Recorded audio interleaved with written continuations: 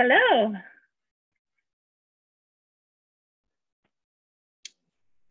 Hey, can you hear me? I can hear you. It's Yay. so good to see you. It's good to see you too. You know, it's been a while. Yeah, are live. anyways. yes, yes, we are live and recording.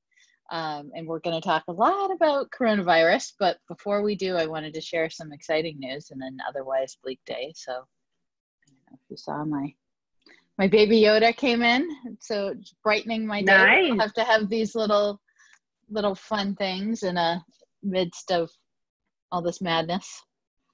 Yeah, I have my my dog comes and sits next to me. Oh, see, that's company. my pet. Yeah, that's my pet. There's the occasional kid pop in, but other than that, it's uh, it's it's that. So this is our first, I think, podcast slash full length video right? We've done our videos, but this is our, our first one. And, um, you know, you had a great idea of getting together and talking a little bit about uh, coronavirus and not the, not the legal things, but some of the, the things that you've been doing that we've been doing and that um, wanted to share some of the things. So you go ahead and start. You had some, you've done some really cool things. Yeah. I mean, I think, I think that, um, you, mo- like most companies, employees are now working remote, right? For the most part, as much as they can be if they're non-essential, and that's great. I worry about making sure that those people are taken care of. I'm an extrovert myself, and so which we've talked about in our podcast a lot, which means that I really get my energy and I get my nurture by connecting and talking to people and actually in, in my day normally i'm not sitting down i'm walking around talking to people and moving and all of that stuff. And i don't get that and i don't get that fed. Um, so it's exhausting. And i know that for a lot of people that you know i always joked before i could work from home for a day. Mm-hmm. and then i need like you've to said go that back yeah. in and, yeah you've yeah. always said that. Yeah so this is a real test and i as i think about you know my own experience and i have two children at home one that is doing remote learning and one that's younger that i'm trying to entertain. I do worry about all of the people that are working from home that are dealing with either similar or maybe very different circumstances with spouses getting laid off or um, you know just dealing with everything people have to deal with um, with working remote. So we've been talking a lot about making sure that managers are checking in with people and not mm-hmm. just having a meeting but doing a check-in of like right. how are you today? How are you feeling? How are you hanging in there? Um, and i think that's really worked out. That's worked out really well. Very you've basic. done some cool things. You've done some really cool things um, so uh, yeah one of the other executives that is also a mom um, she has four children in the house so I don't know how she does it. Um, I've got two, and that's enough. um, she and I put together a card to send to other working parents just to say it's okay. You know, we know we know the struggle. We're all living the struggle. This is not normal. This isn't work from home. Don't beat yourself up. There's kind of right. no such thing as parenting. And that's really opened the door for people to come to us and say, Thank you so much. I have been so stressed and so bogged down where they wouldn't have raised their hand right. in the past. Um, and another neat thing too is we've set out uh, care packages, which I think has been just a, a touch point for people to feel like, you know, that they they care. I mean, I've seen studies where people feel like they have to work harder in a remote environment to be seen. Mm-hmm. Yeah, I think, it, and it's such a different it's different now because there are many companies that were forced to right? So that we're forced to send mm-hmm. people remote. And i think for us we've had a lot of people who were maybe not working from home but were you know remote because we have a lot of people on the road. Some people certainly our salespeople were largely working from home or in the branch or we had people that would bounce from uh, customer location to customer location. So it's it's been a shifting of that. But we also have a, a good portion of our corporate office working remotely now, which is new. Um, and because we had the technology in place, we were able to do that really, really quickly. And our IT IT team was terrific at doing that. But um, it's that's been a change for us. I think it was a ch- more of a challenge. Our managers were great. Our managers were great. I think it was more of a challenge for some of our people who weren't used to working from home and and really had to mm-hmm. adjust and maybe that wasn't their first choice but um, it was the best choice and the safest choice for everyone because a lot of our people can't so a lot of our people right. uh, we have we have 45 locations they have to be at work every day and every location looks a little different some are closed and you have to call and have curbside delivery some are uh, well none are closed some are closed the doors are locked and you have to have curbside. Some customers come in, so it looks a little bit different. So for us, it was trying to balance the needs of our, our folks who are still dealing with customers every day and our, our folks who are working from home and, and not forgetting either group, but also being sensitive to our, our folks on the front lines that um, they can't work from home. So that's been that's been a struggle for us, I think, in the HR team. That um, how do we balance both? And I think our, our solution to that has been being hyper available to everybody. And a lot mm-hmm. of like we do uh, we use a personal touch with with everything. So checking in checking up um, really making sure our managers have what they need making sure our people have what they need. And uh, we divided up our hr team with states and had experts in each area. And so that really um, really helped quite a bit. Mm-hmm. I think continuous communication is important. Having that critical, you know, touch point is is really critical. The other thing that I've learned to this is this this um, is kind of ripe for burnout, and so mm. people that have to work are dealing with staying safe, right, and all of the emotional concerns that come with that, and then people that are working from home have to deal with other things of like I get up, I don't commute anymore. Yeah. I get on my computer, grab a cup of coffee, sit down and work, and they're working till whenever at night. Yep. You know, and so I think it's also really important to help as leaders to help them create those boundaries of like this is work time and this is personal time or wellness right. time or or family time, whatever your personal kind of situation is. Yeah, I mean, I know personally i i developed somewhat of a routine. So that was important to mm-hmm. me that okay get up get coffee.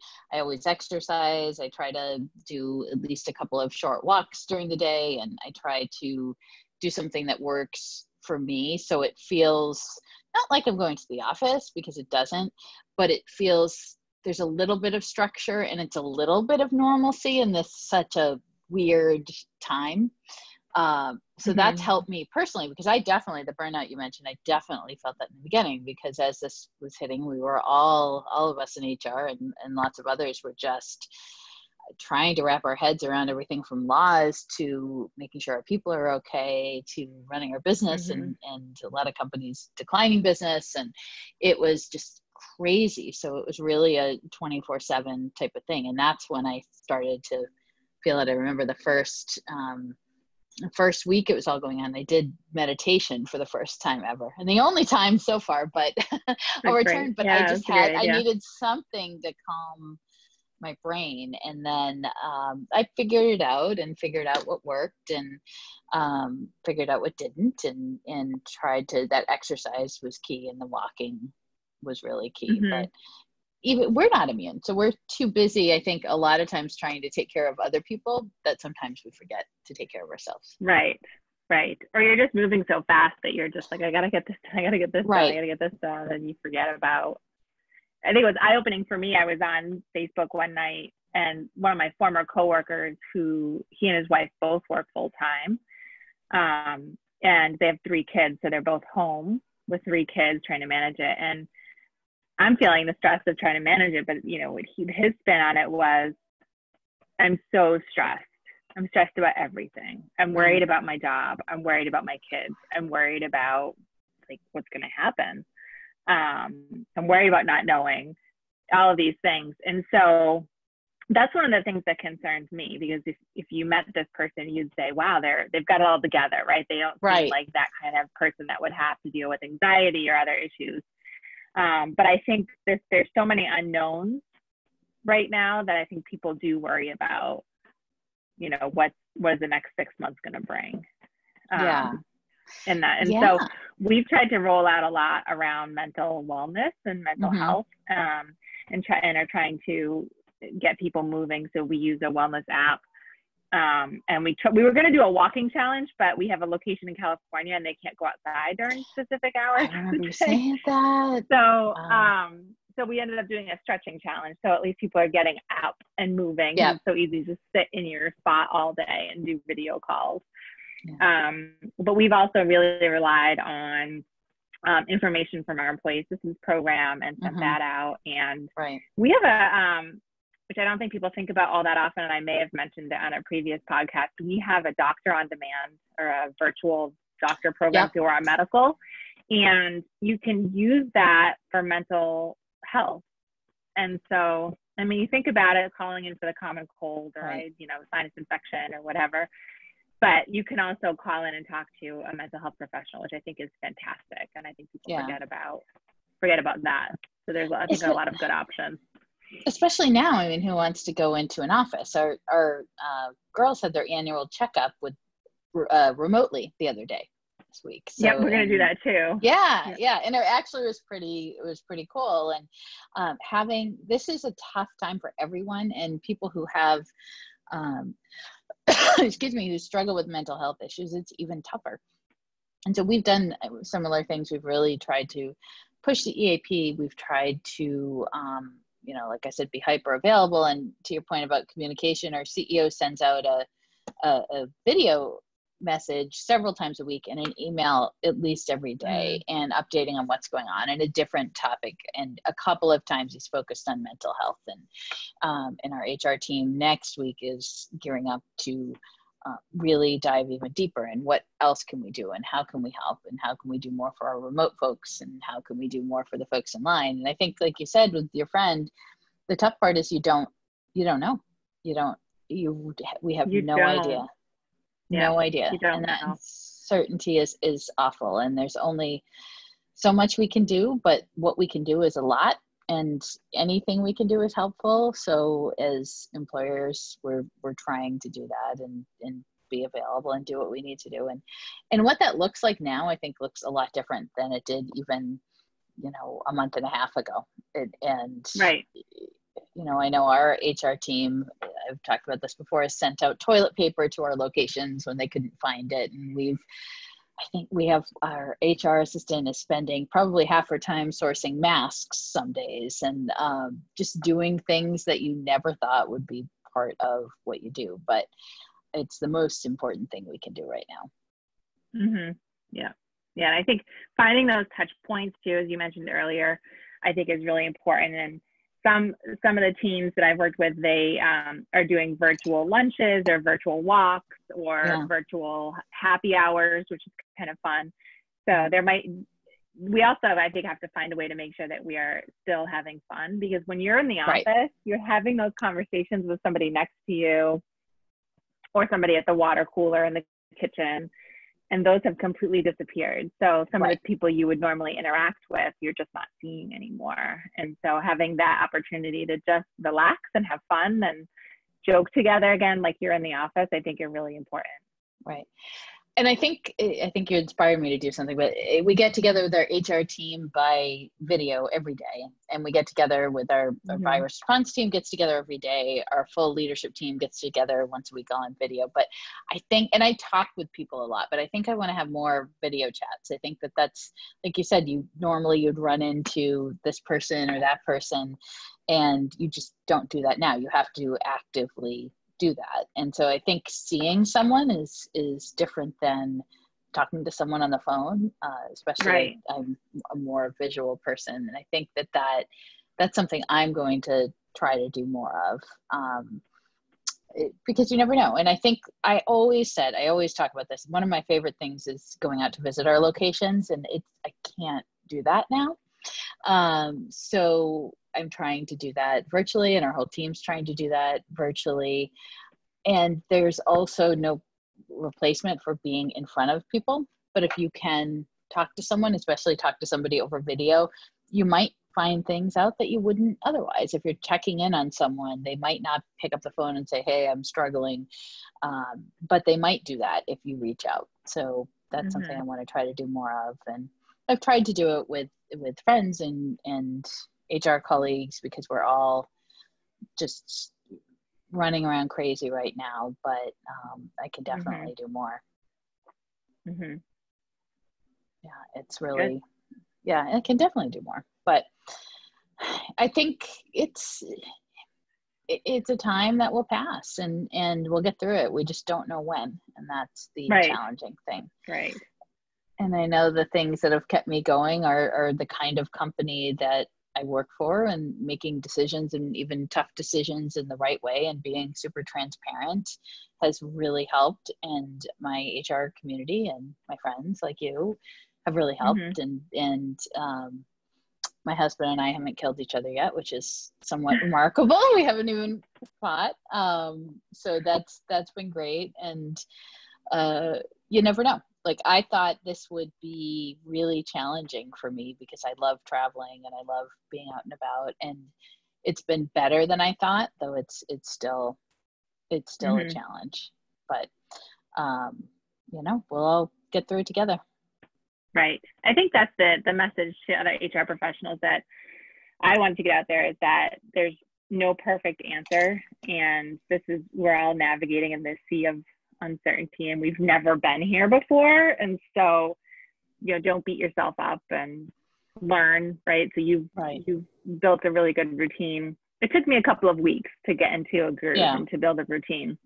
I think I'm there, but I think back about okay what didn't go well and how do I fix that? And one of my colleagues actually, she she and I were talking about how do you manage the kids during the day. Yeah. And she turned a drawer in her kitchen, like a lower level drawer, into a snack drawer. I was like, that's great. Oh, that's so brilliant. the kids can self-serve, right? So yeah. I did that, and um, and and that's really helped out a lot. It seems like a small thing, but I think just talking to people and getting ideas and sharing ideas will help you feel like, okay, I'm not in this struggle right. alone, right? We're all we're all we're in all this together. to through it. And everybody's got you know everyone but a lot of people have kids at home or pets that pop into videos and you just have to things won't look perfect and and people are everybody needs a haircut if you, everyone needs a haircut and and uh it just it looks a little different i want to mention there's lots of cool resources out there but one of my favorites has been uh, lars schmidt posted this public coronavirus document. I know we've talked about it before that has all kinds of resources and um, that's something I'll we'll try to post through our social media channels and um, that it's it has lots of great resources including resources for working from home with kids and things that you can do with kids which is is pretty neat. And it's a public google doc mm-hmm. that you can just go on and add to or you can um, take the information from. It's, it's neat. And that's i think one of the the best things and out of any kind of horrible situation good things come out. You know one of them has been we paused and spent more time with families and i think that's that's mm-hmm. really um, we hopefully took some time for ourselves but also we we connected with people in a different way and we shared information in a way that you know we really never have in the past because nobody knows like you said nobody knows right. what they're doing so sharing that information has been i know absolutely invaluable to me mm-hmm. yeah i think those that's a great resource um, SHRM has put together some really good resources too and it's right yep. on their homepage i think that's been a great help for me on building yep. policies and communication um, and then our rebel group when we talk mm-hmm. about it our, our hr rebels has been such a huge help Incredible. I, think we're yeah, we meet once a week and just talk about and hash out the things that we've been doing or the, yeah. the questions we might have. And every week I learned something new on that call. And, and in the beginning stages, I think that group was so helpful in like, what do you have? Like, right. what are you sharing right. with your employees right. and your team? And what can I feel? And what can I borrow? And here's what we're doing. Right. And right. I think if you can get that kind of community, um, it's hugely valuable. I yeah, we absolutely. talk about that on all of our podcasts, I think, but I, it's uh, it's become even more important now, so that you don't feel. I think we all feel like we're a little bit on an island because we're walking in this unknown territory, but it helps you feel less like an island by yourself. Yep, yep. The community is is you know HR community is always important, but never more so than now, for sure. mm-hmm. Mm-hmm. Great. Well, I think we're just about at our 20 minutes or so. That's I know. about it. Time. So it was great to see you. We've got to do it, It again. good to see you hopefully one of the next ones can be live and in person and not. And that will be nice. We may have masks or we may look a little different and we'll probably need haircuts, but hopefully we can uh we can do that soon. So it's good to see you. Bye everybody. good to see you. Bye. Stay well, everyone. Bye.